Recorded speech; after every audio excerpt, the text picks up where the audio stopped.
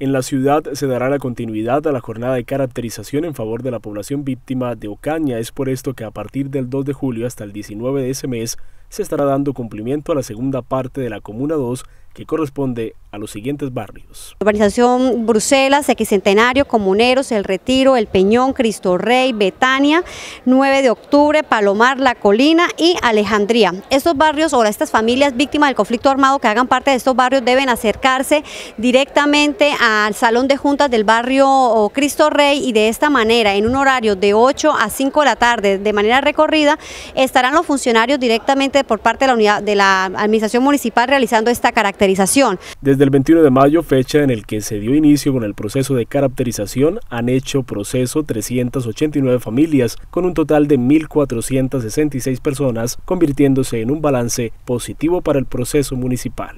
Y de esta manera seguimos incentivando a las familias para que se acerquen y de esta forma puedan seguir este proceso de caracterización. ¿Qué se busca con la caracterización que se pretende realizar? Es una solicitud que se ha hecho a nivel nacional y que todos los entes territoriales deben garantizar para que de esta manera podamos identificar el número total de la población víctima existente en el municipio de Ocaña. Según la Red Nacional de Información, existen 37.879 víctimas, pero es importante saber cuál es la cifra real con la cual nosotros como municipio contamos acá.